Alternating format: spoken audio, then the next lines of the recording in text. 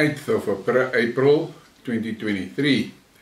This news flash, I'm just going to talk about this issue around the transgender things and kids.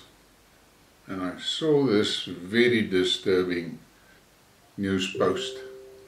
Clinics should prepare for more child sex changes.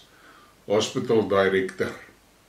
The director of Boston Children's Hospital Gender Surgery Department has called on similar institutions to increase their capacity to perform underage gender surgeries as Republican run states begin to clamp down on the practices.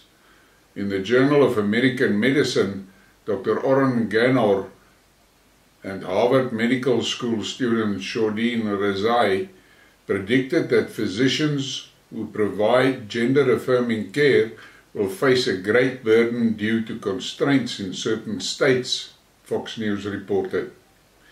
As these states work to criminalize GAC for adolescents, there will be an increased flux of patients traveling to seek care in states with more open legislation.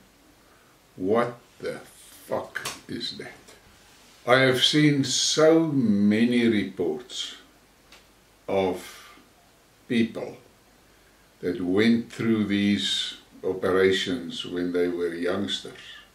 And now they're adults and they are deeply distressed. But it's irreversible, the damage has been done.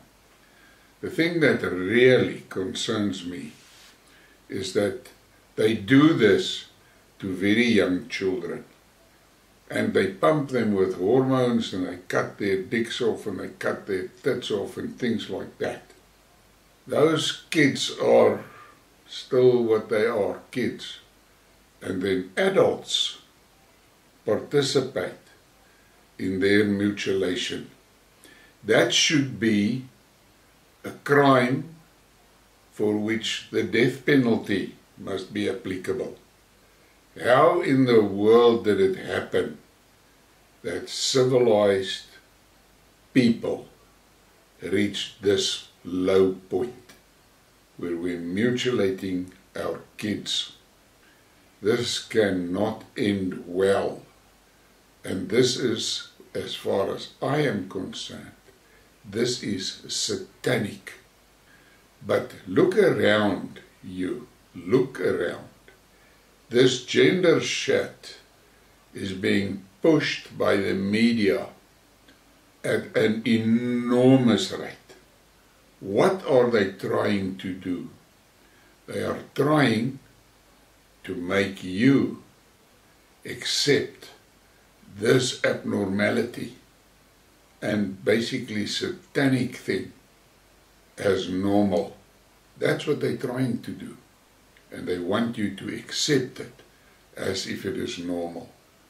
If you are a Christian person, you must resist this. Please give me a like and a subscribe and share the thing. Thank you for your support.